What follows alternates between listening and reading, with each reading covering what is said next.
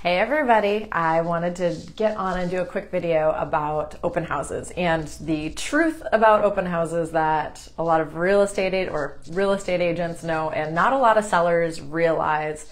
And um, I didn't really realize that not a lot of sellers knew about this until I was meeting with uh, some new clients of mine last week and they were uh, just asking me questions and kind of telling me about who else I uh, they interviewed. They interviewed a few other agents and who else they interviewed and what those people said and what they did and their marketing techniques and how they differ from mine. And one of the things that they asked me was about open houses.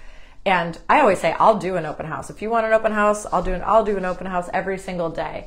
Uh, it's not part of my regular marketing plan and the reason is that less than 3% of houses sell from an open house.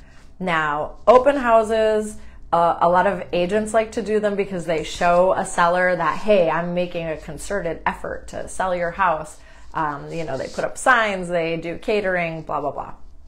Uh, but the reality is that uh, most open houses are not going to sh- sell the house.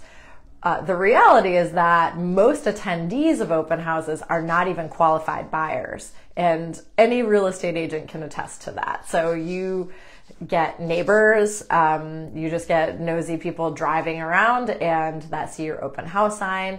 But one of the things that you get, and one of the reasons that agents like to do open houses is you get unqualified buyers. So you get buyers that are like, hey, we're thinking about buying a house in the next six months. Let's just drive around and go to some open houses and see these houses.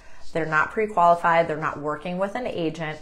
And that is an opportunity for the listing agent to get a new client. And honestly, that's the reason that agents have open houses. A lot of agents um, that have teams will put their newer agents to sit at the open house, and that is so that new agent can pick up some new buyer clients.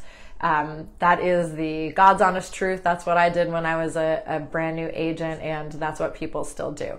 Um, I just want to also, I took some notes because I don't want to miss anything. Um, want to remind everybody that open houses are also a security risk. So if you are doing open houses, you want to make sure that your um, your your valuables are locked up. If you have firearms or jewelry or money or anything like that, prescriptions, that those things are locked up or removed from the house. That's kind of an important thing. Anyway, that's it. That's the truth about open houses. I'm sure a lot of agents aren't going to like me posting about that, but that's okay. If you guys have any questions about real estate, um, you want a value on your home, I am sitting here today doing home values for some people right now. So shoot me a message, send me your address. I'll shoot you over a value for your house. Um, and happy to talk. The holidays are coming. You guys have a great day.